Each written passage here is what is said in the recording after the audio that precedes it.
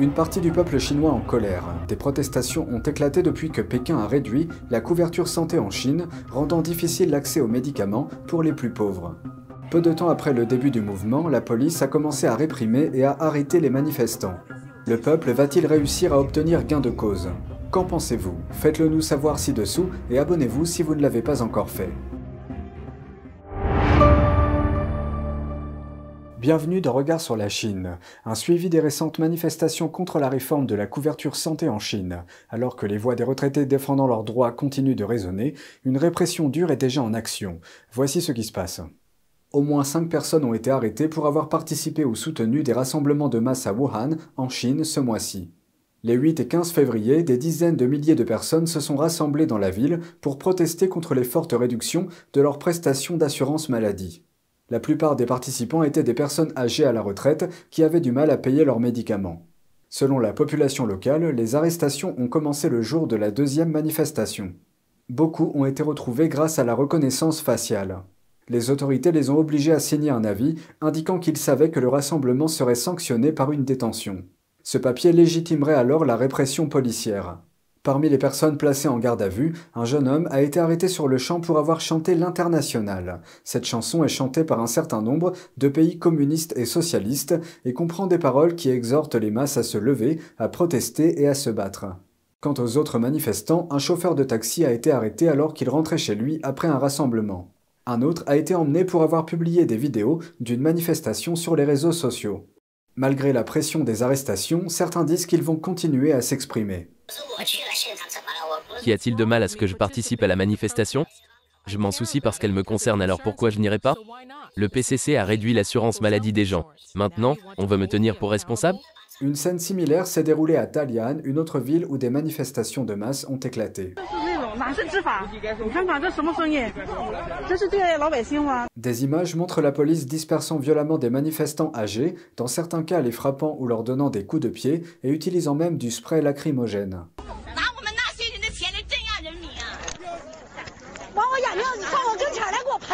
Ces récentes manifestations ont été surnommées le mouvement des cheveux blancs. Ce nom est un clin d'œil aux manifestations contre le confinement qui ont marqué la fin de l'année dernière en Chine, connu sous le nom de mouvement du papier blanc. Plus de 100 manifestants du mouvement du papier blanc ont fini en prison. Les célébrités qui ont manifesté leur solidarité ont également été évincées des réseaux sociaux chinois. Les États-Unis prévoient d'augmenter le nombre de soldats américains qui forment les forces taïwanaises sur l'île. C'est ce qu'indiquent des responsables américains.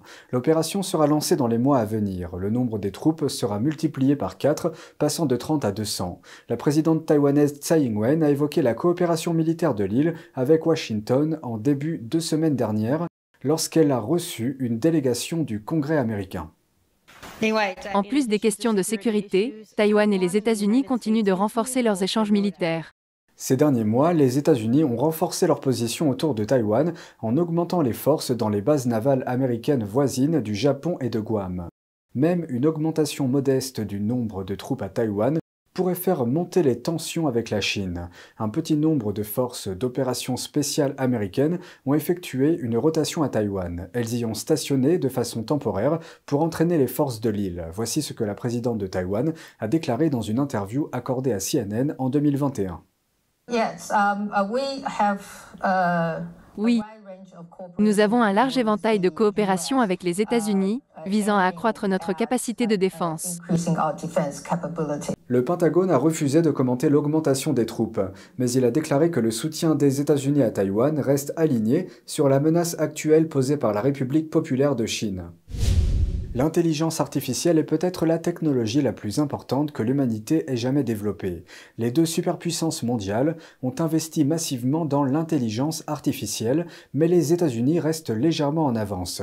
Quelles sont les différences dans la politique gouvernementale, la culture et l'histoire qui ont conduit à cet écart? Voici un examen du processus.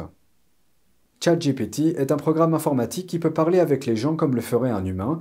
Les gens peuvent taper pratiquement n'importe quelle question ou commande et ChatGPT leur donne des réponses intelligentes, cohérentes et détaillées en principe.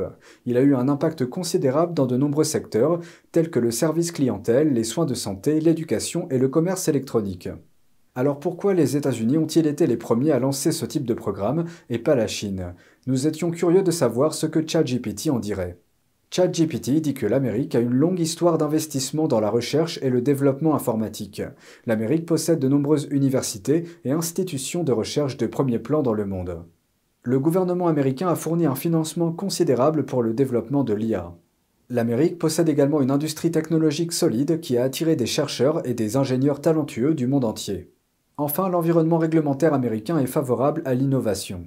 En comparaison, l'environnement réglementaire de la Chine est une autre histoire l'État y est beaucoup plus impliqué dans le développement de l'IA. Le régime chinois a imposé un certain nombre de directives et de réglementations dont certaines pourraient entraver ce domaine. Par exemple, le régime chinois a imposé des restrictions sur l'accès et le partage des données, notamment pour les entreprises étrangères. Et cela est contre-intuitif car l'IA a besoin de données pour se développer. La Chine est également moins transparente en matière de recherche et de développement de l'IA. C'est très différent de l'approche plus ouverte utilisée pour créer ChatGPT. Le créateur de ChatGPT appelle littéralement cela une IA ouverte. Nous nous sommes entretenus avec Alexander de Reader, chercheur dans le domaine de l'IA. Selon lui, c'est l'une des principales raisons du succès de ChatGPT. Um, L'IA, ouverte, a donc donné un accès anticipé à ces modèles aux ingénieurs et aux développeurs, qui ont ensuite commencé à les utiliser et à donner un accès ouvert à une énorme quantité d'informations sur la façon d'améliorer ce modèle. Cela donne aux chercheurs l'accès aux idées de leurs pairs. Ils n'ont donc pas à résoudre deux fois le même problème. En outre, cela permet de disposer de davantage de données et d'appropriation sur le marché, ce qui est essentiel pour améliorer ces modèles. En tant que chercheur en IA, De Reader lit constamment des documents de recherche sur l'IA, y compris ceux de la Chine. Selon lui, la Chine a connu une augmentation considérable de la quantité de recherche sur l'IA, mais ce n'est pas tout ce dont elle a besoin. La Chine montre donc qu'elle peut faire la même chose, mais mieux. Alors que les articles occidentaux sont souvent intéressants dans la mesure où ils ne se soucient pas tant d'être meilleurs, que d'essayer des choses complètement radicales qui peuvent ne pas fonctionner du tout. Et parfois, ce sont les idées exactes qui sont nécessaires pour apporter de grandes améliorations dans ce domaine à l'avenir. Et le fait que l'anglais soit la langue la plus répandue est également un facteur. Nous nous sommes entretenus avec Abbas Moledina, le fondateur de la société d'IA YouMaker. Selon Moledina, des modèles linguistiques d'IA comme ChatGPT doivent apprendre en observant des ensembles de données. Dans ce cas, l'ensemble de données est l'Internet. Et quelle est la langue de la majeure partie de l'Internet? Environ 55 à 56 de l'Internet est écrit en anglais. La plupart des sites web dans le monde sont des sites anglais. Ainsi, pour que le moteur sous-jacent apprenne, il a besoin d'un référentiel d'information sur lequel il peut s'appuyer d'une entrée. Alors que plus de 56% de l'Internet est en anglais, seulement 1,5% est en chinois. Pour un programme anglophone, il y a donc clairement une longueur d'avance. Et pour ne rien arranger, le régime chinois a également fortement censuré une grande partie de l'Internet, ce qui bien sûr limite encore plus la quantité de données dont les modèles linguistiques peuvent s'inspirer. Pendant ce temps, le géant chinois de la technologie Paidu lancera très bientôt son propre programme de style ChatGPT. Il s'appelle ErnieBot. Paidu dit que Ernie est l'abréviation de représentation améliorée par l'intégration des connaissances. Paido prévoit d'intégrer Ernie à toutes ses opérations, à commencer par son service de recherche sur Internet. Nous pouvons nous attendre à ce que Ernie fasse son apparition dans le courant du mois de mars. C'est tout pour aujourd'hui, merci d'avoir suivi Regard sur la Chine, on se retrouve demain pour une nouvelle émission, prenez soin de vous et à bientôt.